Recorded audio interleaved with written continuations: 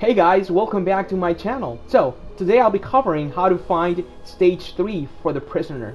As you guys may remember, for stage 2 we have to find a key in order to unlock stage 2 skin. So, for this stage 3 challenge, we have to uh, do something different. So, we're going to find a forged campfire and we're gonna light it up. That's the only way to unlock stage 3.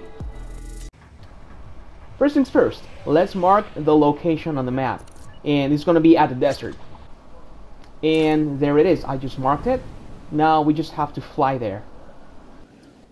I'd like to remind you guys that in order to do this challenge, you have to have completed stage 2 already. So if you're trying to do this without stage 2, it's not gonna work.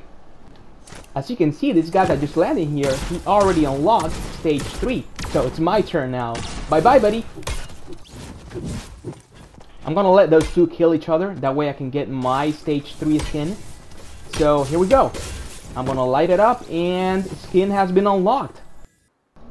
I really hope that this video helped you guys find stage 3 for the prisoner skin. I want to thank you so much for watching my content and for staying up to date.